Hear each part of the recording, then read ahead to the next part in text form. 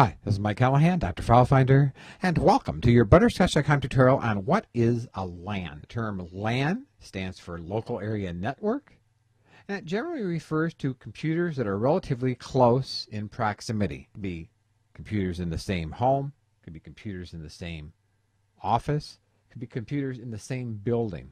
But when you talk about a LAN, you're basically talking about computers that are relatively close to each other that are connected and part of the same network.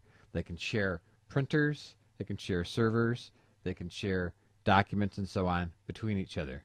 So a local area network is a type of network wherein the computers are in relative close proximity. And that's all there is to it.